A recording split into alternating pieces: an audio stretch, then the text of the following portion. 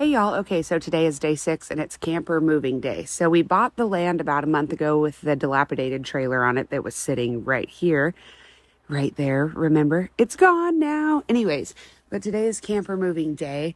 Um, we haven't actually been living on the land. See, there's a clip of them moving it again. What a little flashback.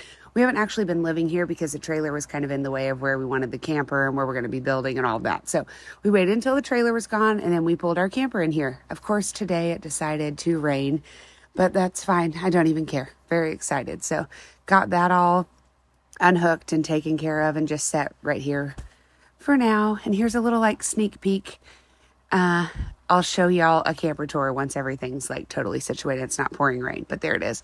So then I decided to walk down to the pond and just listen. I just love it. Anyways, okay, so walked down to my pond and I was just looking at all the little bullfrogs hopping around. Look at this one. So cute. Swimming. Look at this bullfrog. Anyways, so you guys have a great day. That was what we did today. Tomorrow we're going to get back to some more projects when the rain stops. Okay, bye.